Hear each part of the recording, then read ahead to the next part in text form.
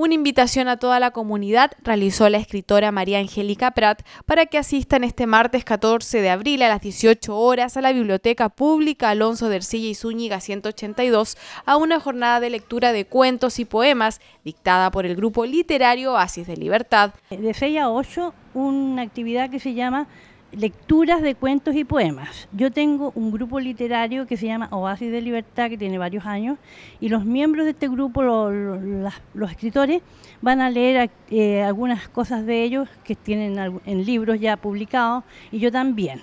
Así que invito a todas las personas que les guste la lectura, que por favor se acerquen a la biblioteca, participen, porque también vamos a invitar a las personas del público, si tienen algo, alguna cosa escrita, si quieren leerla también. Además, la profesora universitaria informó que el lunes 20 de abril se dictará un taller denominado Creando microcuentos ilustrados, el que será dirigido para todo público.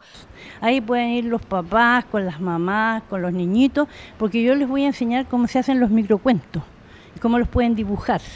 Entonces, es una excelente manera de acercar a los niños, a los jóvenes, a los adultos eh, al fomento lector, al leer.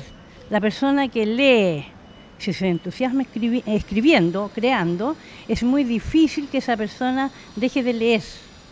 Las dos cosas van juntas. Por su parte, la directora de dicha biblioteca, Mercedes Devia, dijo que es muy importante tener presente a un agente cultural como lo es esta escritora y que mejor que ella fomente los hábitos de lectura en la comunidad. Para mí una gran satisfacción primeramente trabajar no solamente con la señora María Angélica Prat, que es un gran elemento de fomento a la lectura acá que La señora es un agente cultural maravilloso.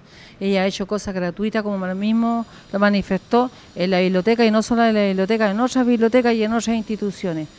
La invitación está hecha, estos encuentros literarios son gratuitos y pretenden fomentar la lectura y la creatividad literaria tanto en niños como adultos.